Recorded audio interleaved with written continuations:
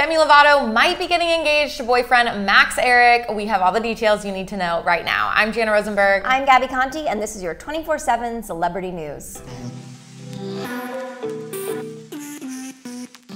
So Demi Lovato has been social distancing with her rumored boyfriend, actor Max Ehrich, but this is not a Cora fling, okay, people? Apparently, things have gotten very serious with this couple. A source close to Demi said, quote, the quarantine has been really great for Demi. Her and Max have gotten so close. She's doing a great job at staying sober, healthy, and taking care of herself. The source went on to say how Max is very into music and health and doesn't like to party, which has been a really good influence on Demi. Demi and Max have a few mutual friends, and she's even been introducing Max to her closest friends over FaceTime during this quarantine. Woo! You know when he starts doing the FaceTimes with your best friends yes. and your family. Are, that's the equivalent of meeting it because that's what you totally. can do right now. Yeah, yeah, definitely. Real wow. I mean, they're super cute. He is like adorable. Demi's a queen. I really like this couple. Me too. I mean, I mean they've been spotted like grocery shopping together mm -hmm. too. They've been spotted on each other's Instagrams. They yeah. are so cute definitely.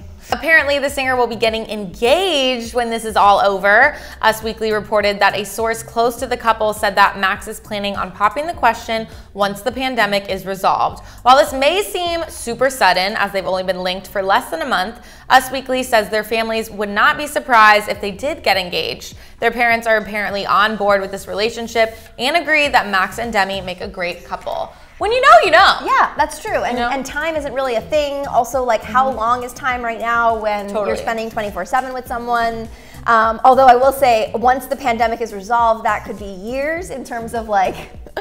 This is true. So what does he mean by that? I mean, right. that's the crazy girl in me coming out, being like, well, can you give me an exact date, Max, about when the pandemic will be resolved so we'll get engaged? If that's really what Demi wants. Nothing like know. a global pandemic, though, to make you realize like what you want in life, whether yes. it's getting engaged or I don't know, making it official. Yes. And I do believe that if you're in a relationship right now and you're not officially dating or married, um, or not dating, if you're not married and you're in a relationship and you're quarantined with your partner and you guys come out of this alive and still together. Oh yeah, I feel like that's a sign that you can survive almost anything. Totally. This is make it or break it for couples, totally, you guys. Some totally. of us luckier than others. Totally. It's so funny. While this may seem like a whirlwind romance, remember Max and Demi have been living together during this time. They've been spending 24-7 with each other, which of course sped up there and would speed up any relationship. According to a source, the two have gotten so close during this time Demi and Max were first spotted together weeks ago on Instagram when Demi accidentally stepped into Max's Instagram Live performance, which flustered the actor-singer so much that he had to go off live.